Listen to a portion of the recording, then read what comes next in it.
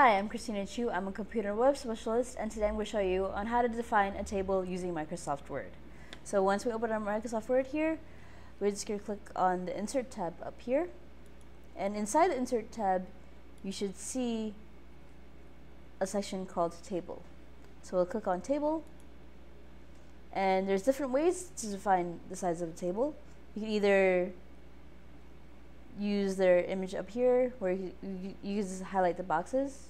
So if you want like a two column and two rows, just highlight two columns and two rows and you should see a two by two table. Another way to, to define a table is just to do the insert again table and on the bottom here you should see a draw insert table. So click on insert table and it'll ask you for the number of columns. We could say four. Number of rows, we could say eight. So click on OK. And now you have a four by eight table next to your uh, two by two table or inside the two by two table.